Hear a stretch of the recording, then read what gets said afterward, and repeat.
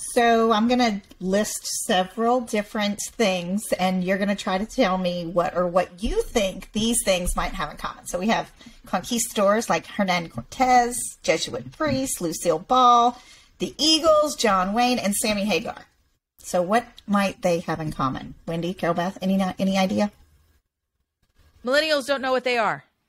Oh, that's a good one. That's actually a good one. oh, that was but, a good one.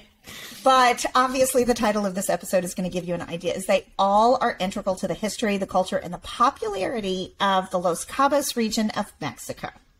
From conquistadors to missionary and old Hollywood, then back to rock legends, they have all helped cement Cabo is not only a popular tourist destination, but a place rich in history and culture. Okay, I'm going to ask the obvious question. What is Cabo? So, Cabo, you when you hear the word Cabo, you obviously you think of Mexico, but a lot of people don't realize it's not a town. It's an entire region. And the more technical term would be Los Cabos because there are multiple. There are multiple little towns in the region. And so a cabo in Spanish is it's actually Spanish for cape. And geographically, a cape is a high point of land where two bodies of water they meet and it extends out into those bodies of water. So what's really interesting about the Cabo region is you have two totally different types of currents one from the Pacific Ocean and one from the um, the Sea of Cortez, and they meet right there. And you have currents going in opposite directions. You have those shallow waters off the coast of the Baja California that really, really stir up a whole lot of undertows and things like that, which make it a little bit of a dangerous area. So mm-hmm. you hear sometimes there's not a lot of sim- swimmable beaches there, but this is why. These are some really powerful currents. But it's interesting to note that not only do you not swim in a lot of places, this is a huge tourist destination. You wouldn't think those two could go together. But um, I've always heard of Cabo's a party place, so um, I, I don't yeah, think that I've ever that. learned anything different. I certainly didn't. Like, do you visit? Is, is there like a meetup with Sammy Hagar? Do you have a Lucille Ball dinner? You would think so, but I'm going to tell you why they're important in a little bit. It's really, it's, it's so, it's, it, I, when I was there, it was so fascinating to take a tour by a local and to learn these, these little tidbits. I was so fascinated. That's why I wanted to talk about it. But um, there are two actual areas when you're talking the Los Cabos region that you kind of separate into kind of towns. You have Cabo San Lucas, and that's kind of the one you think of most, but there's also San Jose del Cabo. And together mm-hmm. they are the Los Cabos, the Capes.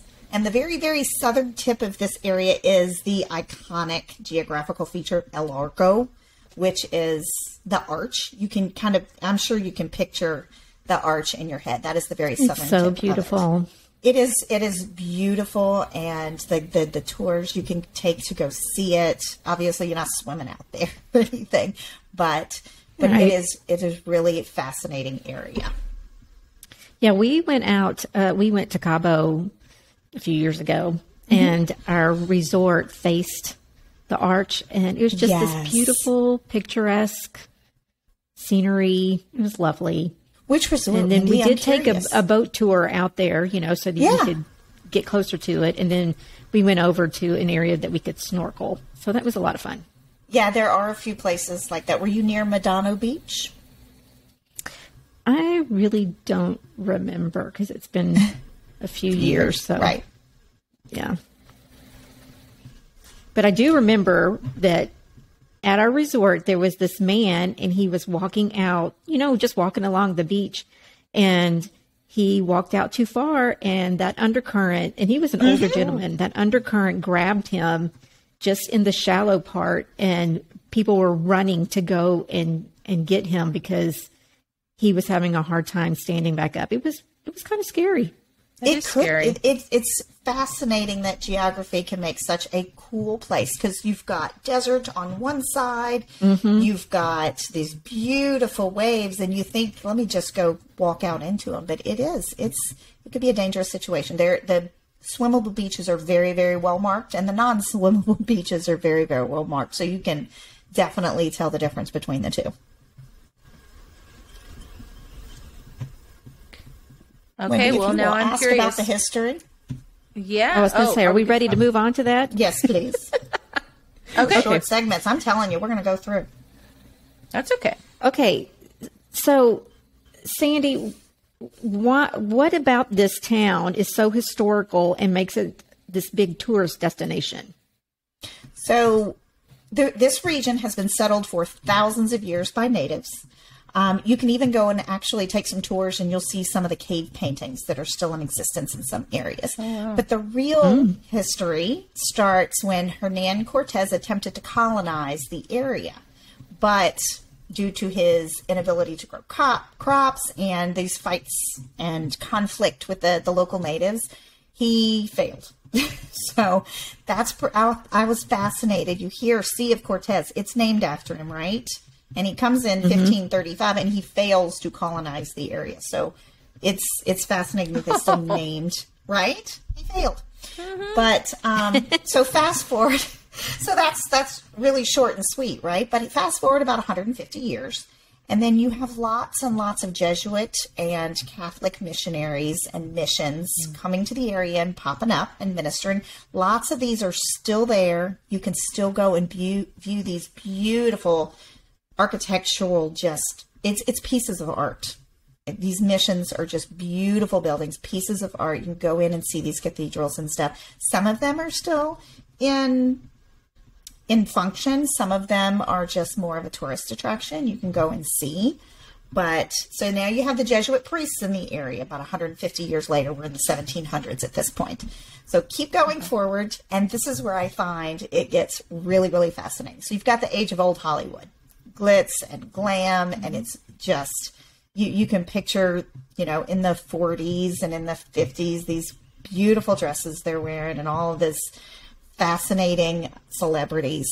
There is this guy. His name is Rod Rodriguez. He is the son of the president, and he decides to open a hotel. He's friends with all of these people in ho- old Hollywood. And so he opens this hotel in 1956. It's called the Palmilla. He actually bought the property for fifteen thousand dollars, and it was four hundred uh-huh. acres. And so, what a great investment, right? This guy is starting yeah. this tourist mecca. He buys this four hundred acres, and he starts building. He says, "Well, these people from America, they've got all this money. They want to travel to Mexico. Where are we going to put them?" And he decides he's he's going to find a place to put them. He builds the hotel. It's called the Palmilla, and it is still there. It is it was the very very first one. So he is his wife was Lucille, not Lucille Ball quite yet. We're not to her yet. But she was a Hollywood actress as well, and all of their friends would flock to the site because he had a private airstrip. So he put in a private airstrip so that it made it really convenient. And this was not known to other people because everybody wants to go and catch a glimpse of a celebrity. So it was quick and easy, and it was private getaways for all of these really, you know, fancy schmancy celebrities, right?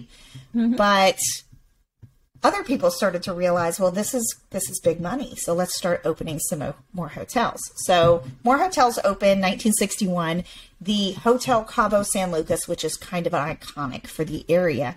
It started out. Um, it was pretty modest at first, but then as tourism, it was limited kind of to a lot of fishing people, people who really loved this great sport fishing. Then celebrities started realizing this is a place we can go. So John Wayne, who is a big fisherman himself, he travels down. Desi Arnaz, Lucille Ball, they're all at this Hotel Del Cabo, and Frank Sinatra, Bing Crosby, some more famous names. So look, at this point, obviously these names are getting bigger. The secret's out. And so more and more hotels start being built. And more and more people start flocking to the area. And that's when you start the the era of the all inclusive, because before then it was just hotels, your a la carte.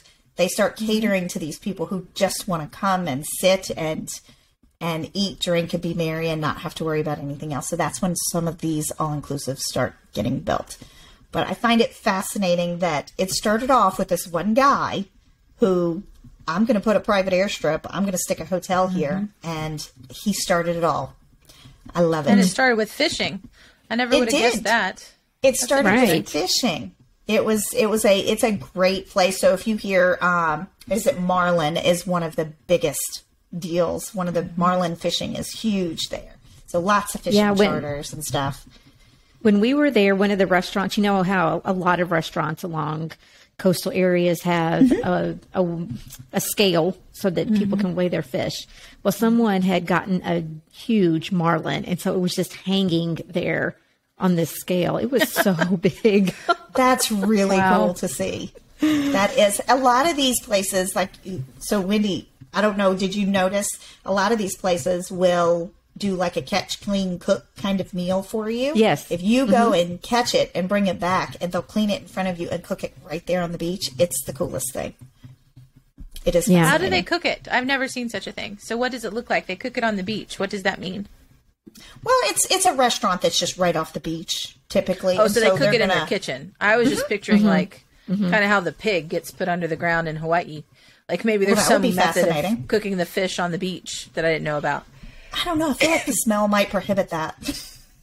yeah, I don't know that I'd true. want to to bury a fish, but no, it's it's restaurants that kind of partner with some of these charter companies and we'll do stuff okay. like that. We'll do the you catch it and we'll clean it and cook it for you. Mm-hmm. There's there's some other places. I know you can do that near Islamorada in the the Keys and stuff, but it's it's really cool to to go get your own gigantic marlin or some sailfin or something and come back and you're sitting on the beach. They have cooked it and you are just enjoying your fish that you caught that day. It's really cool.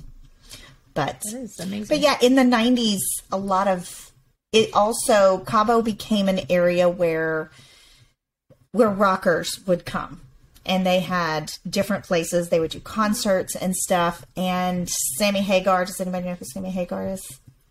Mm-hmm. Yes, we're not millennials. Okay. We know. I'm just making. I'm just 5150 is sure. my favorite Van Halen album. Just oh, there you go. Well, Wendy. Well, we will. We'll just I'm more of a pre Sammy Van Halen person. But, okay. Yeah. Well, so Sammy Hagar of Van Halen fame, he wanted a place for his buddies to go and play. And a lot of these places, they were still very touristy. So have you ever heard of Cabo Wabo? Mm-hmm. No. So he had a What's song. a Cabo Wabo? so first it was a song. First it was a song. It was a Van Halen song. It's called Cabo Wabo. It is oh, obviously rock. And they opened a you were so funny. They opened a. It, it's a bar now.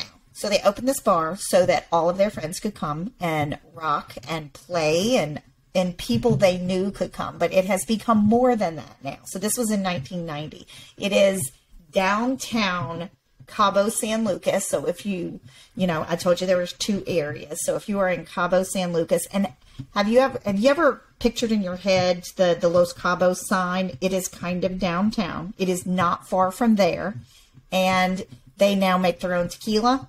There's a Cabo Wabo tequila brand, and that is right where. I'm sorry, I just lost my train of thought. I was going to scroll down so I could see more of the script. So it's right there where you'll see a lot of the little restaurants and shops. You can drive through. It's a kind of on a main drag, and you can see Cabo Wabo there, which for some people, mm-hmm. Carol is famous. Carol Beth might have Cabo Wabo is famous for others. it, it is. Wendy, have you heard of I'm it? I'm so bad. I'm like the I don't know. Yeah, I've heard of Cabo Wabo. Okay, mm-hmm. good. I don't know. I, there's whole like, swaths of culture that I'm completely absent of. I have no idea what's going on. So Cabo Wabo. Well, Carol Beth obviously is not a rocker, and that's okay. but if you want to be, you can head down to Cabo Wabo. It is a memory thing as well. I, I you know, my you say like picturing this sign. I could have been there last month, and I still probably wouldn't be able to picture the sign. So, I mean, oh. there's a weird limitation that's built that's okay. in too. Yeah, but um, I feel like I would remember Cabo Wabo, though. I feel now I have to look that up. So I'm positive if so it's a song, funny.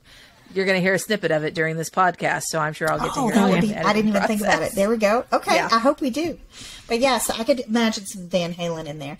But so between the history, you've got old Hollywood coming in, and now you have the rockers coming in. It is an act. It is a very diverse area. You can find something for everyone there. It is an amazing place to visit. I never thought that I would want to go to a beach location where you couldn't really go on most of the beaches.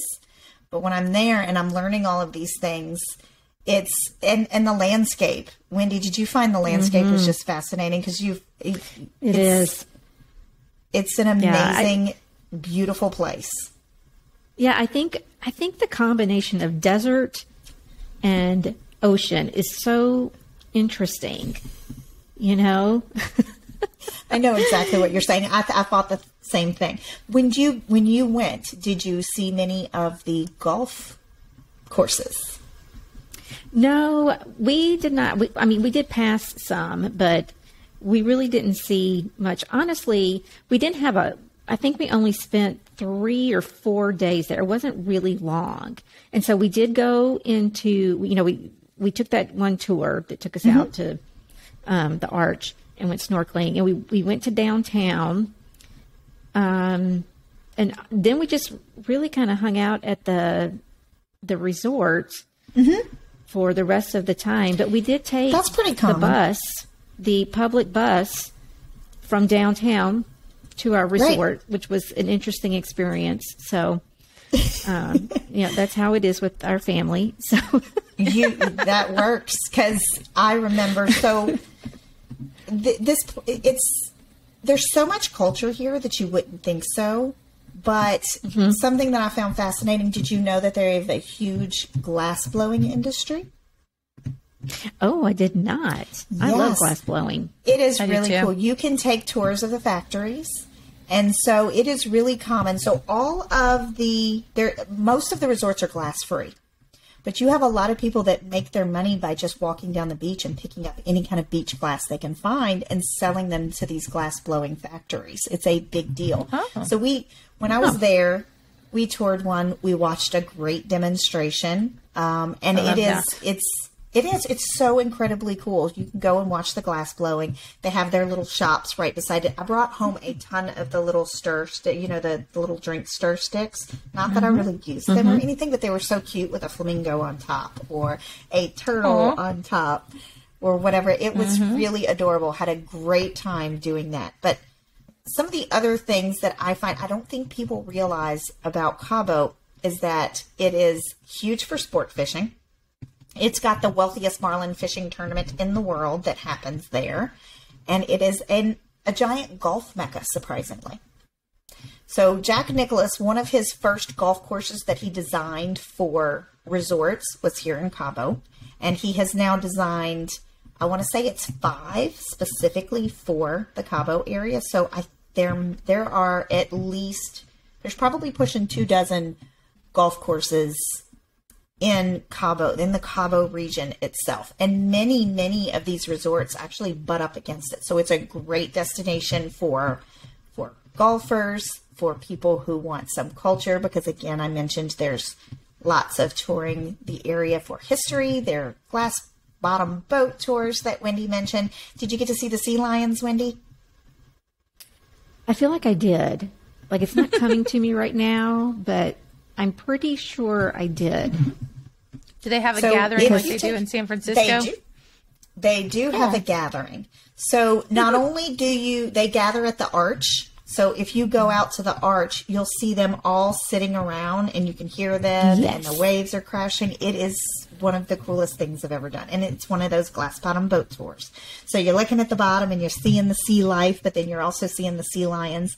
The other cool thing is there is a marina area that is right near downtown, and it's mm-hmm. near Medano Beach, which is one of the few really long stretches of swimmable beach.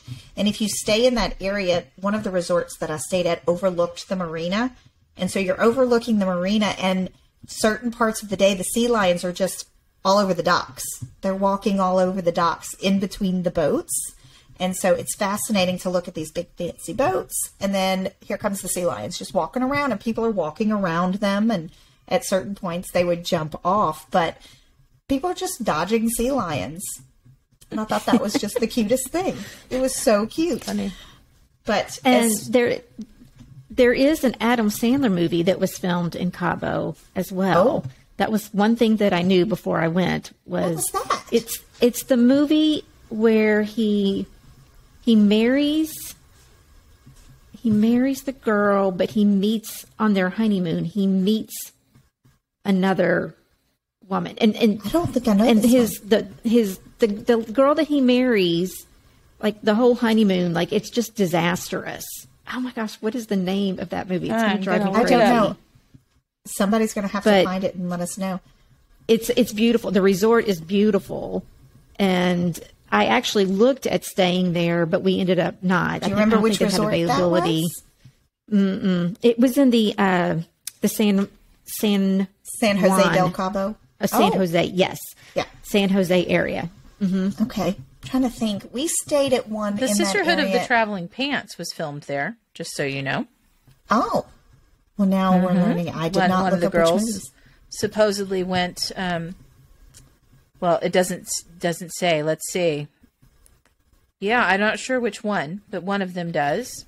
And it's called You Don't Mess with the Zohan. That's the Adam Sandler movie that I've never heard of have, before. Oh no, did I say Adam Sandler? No, I did I say Adam Sandler because I should have said Ben Stiller yeah. if I said Adam Sandler. Oh, well Adam ben Sandler Stiller. also did a movie in, in Cabo San Lucas. Uh, but it was about a former Israeli counter-terrorist commando turned hairstylist. So that just yeah. goes oh. right off the tongue. Is right that is not yes, child appropriate at all? Oh, you've seen that one? Okay. Not, if it's Adam Sandler, I would not assume it was very I've never appropriate. never heard of that one. So that's that's not what you would recommend, huh? So it's Ben Stiller. Um, you never know. It's Ben Stiller. Um, y'all are cracking me oh up gosh. right now. I'm just going to let y'all look him up. Kid. oh, I think that's kid? it. Yes. Yes, it's the Heartbreak yes. Kid.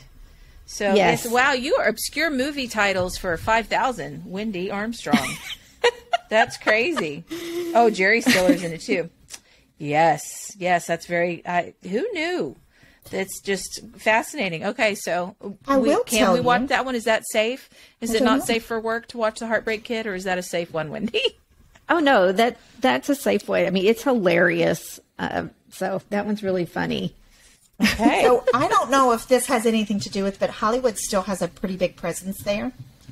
Like mm-hmm. you, a lot of these tours you take, they will point out whose house is whose. For instance, we saw mm-hmm. houses that were owned by Sylvester Stallone. Um, I know Beyonce goes there periodically. Jennifer Lopez has a house or had a house there that they I think Oprah us. does too. Oprah's got a house everywhere because we saw her house in the Bahamas too. So yeah. I think she's just got a house all over the place. That's all right because she can. But, uh, yeah, well, if you can. The other thing that we mm-hmm. saw that was pretty neat is if you are staying in the marina area, which is great. I highly recommend the marina area because the view is spectacular. You can see if you look out to one side, you're seeing the arc. And then if you look straight ahead, these beautiful mountain tops and, you know, dotted with these beautiful mansions.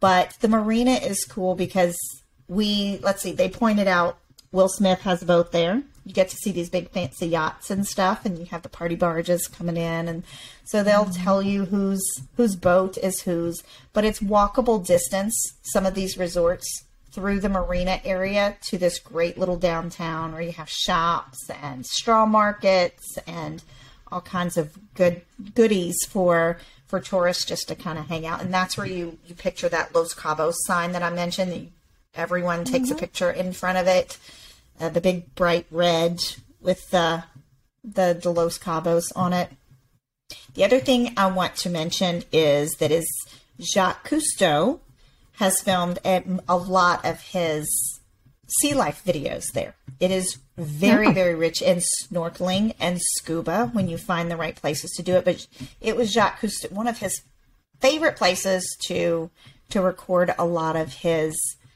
his marine life videos. He did a lot of those in this area as well. So there are so many reasons to visit Cabo. It's kind of hard to to mention them all but I did want to just really go through the geographical features to mention why you would go and mm-hmm. not necessarily swim on the beach because yeah. so many people want to swim. There are a few resorts that are on swimmable beaches, but many of them are not. And you can travel to something like Medano, which is public, and, and swim there.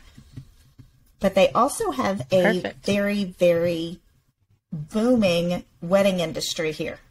Lots of destination mm. weddings in the area. There, most of these resorts have such beautiful locations for a destination wedding. If you picture the rocks and the waves hitting as you're as you're getting married, this is where you go to do that. It is beautiful. And I was looking at some traditions for how to get married in Mexico and what what are some of these little things that you can incorporate if you're doing something like that. And I thought the lasso tradition was was really fascinating. Have y'all heard of this? Mm-mm. They may do this in some parts of Texas because they have such a, you know, strong Hispanic population. But at the end of the wedding, a lot of places in Mexico, there is a lasso tradition where they would take a lasso and turn it into a figure eight and put it around the bride and groom. And they say some of their vows wrapped up in the infinity symbol in a lasso, and it symbolizes their unity and their coming together. And I thought that was just a beautiful, beautiful thing. Oh, How cool would beautiful. it be to get married in Mexico, incorporate some of those cultures and traditions, and you're in this beautiful paradise with your family and friends? I loved reading about that. Mm-hmm. That's really cool. Yeah. I thought it was beautiful. Unique. Mm-hmm. Yep. But that was really. Did y'all have any other questions? Because I really just wanted to kind no, of give a great. great. overview. yeah, this was Cabo. awesome. Yes, yes. I feel it, we can do the my favorite parts. So I'll kick that off. Yeah. Okay. So I loved learning. I, I really knew nothing about Cabo, and you painted a beautiful picture of it in my mind of the geography and the history. And now I want to go and see some of these giant fish that I don't know that I want to fish. um, it's not really my cup of tea but just because it's um, if you get uh, motion sick, those that going out on the ocean to fish, man, that's a that's a moment. So I will mm-hmm. watch other people go out and come back and cheer them on. So that sounds super fun. I love anything that's interactive in that way, where you get to interact with the environment. So that sounds amazing. Um, and I, I feel equally fascinated with the variety of celebrities that are there. It's always interesting to me when they point out the houses and different things like that. What is it? Because right. what that says to me is that it, the people who have a lot of money and time and, and little time choose to spend time there. So if you you know if you can Absolutely. be there and you get to be there in that location where they've chosen with their precious time and a lot of money to get there, then usually there's a reason for it, right?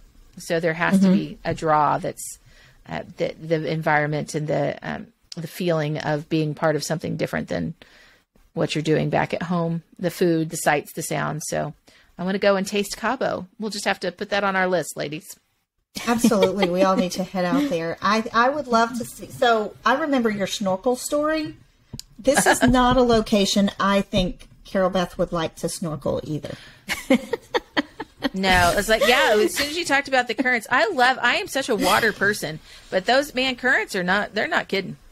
Mm-mm. No, no, not these. It is. It can be respect. a bit of a dangerous area, but it's to yeah. to even just stand and watch the waves and hear them. So if you're dreaming of a location that you want to be in your room and hear the waves, because you can go to other beaches where it's easy and safe to swim, you're not going to hear the waves as much. But if you want that from your room, if that's in your mind for your vacation, Cabo is a great place. I remember one resort we were at that the rocks formations just right off the resort were so fascinating and so beautiful. You could just sit and watch the waves hit those rocks for hours. Mm-hmm. And the sea lions. But, I mean, sea lions are hysterical, so that's just a bonus. They're, adorable. One of the funniest I love things. The noises, yes. They're so funny. There's like it's like watching small children throw each other off the rock and have slap fights, and it's great. so if you haven't done it, you got to do it. And the smell and to watch too. them walking down the marina was hilarious so to me. Like, did you just people walking along to their boats and they're dodging sea lions? Cracked it's me the best. Up. And I was watching it from a hotel just for that. Like yeah, the best. That's great. Yeah, I think Cabo is a great place for, for pool people. Like, if you love hanging mm-hmm. out at the mm-hmm. pool but want to see the beach, then mm-hmm. this is the place for you because it's extremely picturesque. Mm-hmm. So that's going to be one of those important things when you're looking to travel to Cabo is if you probably want a really nice pool and Make oh, sure yeah. your resort has that. Yeah, absolutely. we had this that great view too of the arch. If you can find the resort that has the view so of the cool. arch plus a great pool, then you know total winner. Yeah, oh yeah, yes, ma'am. So we stayed a few while we were there. One of them overlooked the marina.